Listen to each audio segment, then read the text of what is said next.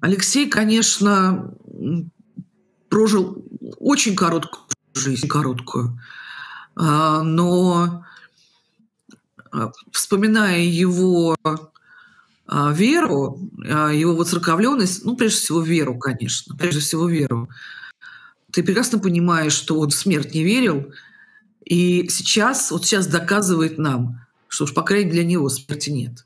И для меня было очень важно увидеть и смотреть без конца сейчас во всех телеграм-каналах, в вашем эфире, смотреть оттуда кадры, смотреть и слушать людей и думать, мы видим с вами вообще-то лучших людей в мире.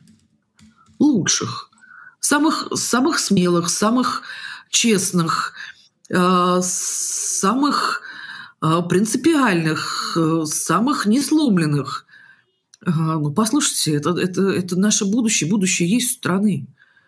Есть будущее, посмотрите. И нам опять это показывает Олег.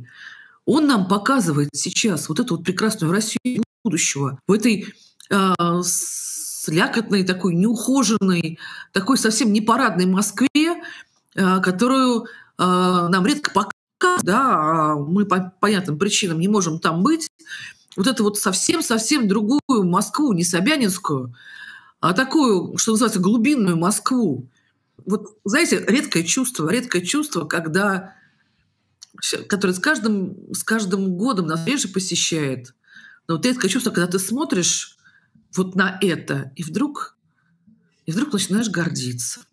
И вдруг начинаешь гордиться, что ты какая-то небольшая часть тоже вот, вот, вот этого народа, этого народа и вот этой настоящей страны, вот этой которую, которую люди не отдают. Просто не отдают, как Алексею не отдавал и не отдаст никогда.